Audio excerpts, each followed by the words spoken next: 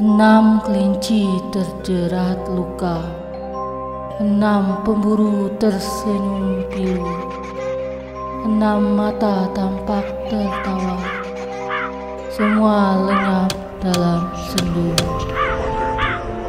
Anak-anak, duduklah dengan tenang. Cerita minggu kelam akan dimulai.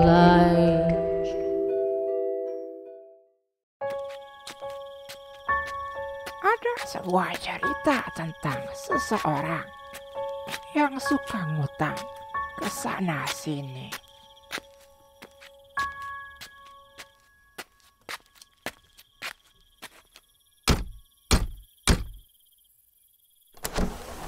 Oh, Bang Rida. Ada apa bang malam-malam ke kamarku? Den, boleh bicara sebentar nggak? Boleh bang. Ayo masuk-masuk. Jadi gini. Ah, jadi gak enak. Padahal aku penghuni baru di kosan ini. Hmm, kamu sudah gajian nggak? Sudah bang. Kebetulan cair kemarin. Eh, kenapa ya bang? Abang baru gajian minggu depan nih. Tapi orang tua abang di kampung lagi sakit dan butuh uang beli obat.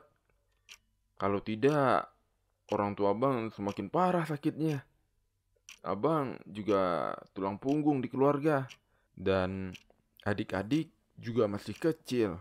Jadi bang, Maaf ya, tapi boleh nggak pinjam duitmu sekitar 500 ribu? Minggu depan bakal diganti kok pas gajian. Abang janji. oh boleh boleh. 500 ribu ya. Bentar, aku ambil dulu.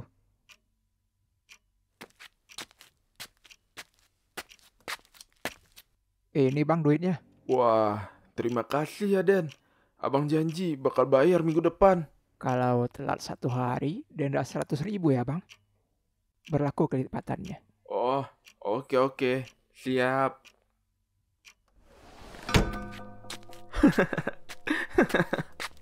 Akhirnya dapat juga. Pakai denda segala lagi. Siapa juga yang mau bayar?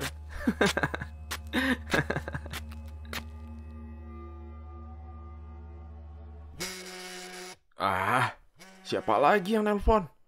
Mau nagih utang lagi? Percuma, nggak bakal ku bayar. Halo? Halo Marida, ini Denny. Uangku kapan akan dikembalikan ya? Udah dua minggu lah telatnya. Berarti utang abang itu 1,4 juta ditambah 500 ribu ya. Totalnya 1,9 juta. Anjing kau. Kau mau jadi lintah darat. Utangku bisa berbunga seperti itu. Tenang saja. Aku nggak bakal bayar kok. Jadi hitung aja terus. Oh, jadi Bang Rida nggak mau bayar. Ya sudah, kalau tidak bisa dibayar dengan uang, masih bisa dibayar dengan cara lain kok. Ah, bacot. Aku sudah pindah kosan. Kau juga tak akan bisa menemukanku. Jadi, ikhlasin saja. Hmm, nanti malam mau minjam ke siapa lagi ya? Kalau bisa, minggu ini dapat 5 juta. Bayar dulu hutangmu. Ah, ah, ah, ah. Ke- Kenapa kau ada di sini? Bagaimana caramu masuk? Hutangmu itu 1,9 juta. Anggap umurmu sekarang 25 tahun. Kau akan mati di umur 60. Maka utangmu akan terakumulasi sebanyak 1,2 miliar karena tidak mau membayar. Lalu apa? Kau mau apa? Kau mau minta uang sebanyak itu? Iya, kau harus membayar semuanya. Karena kau menolak, aku akan mengambil bagian tubuhmu yang penting. Apa maksudmu?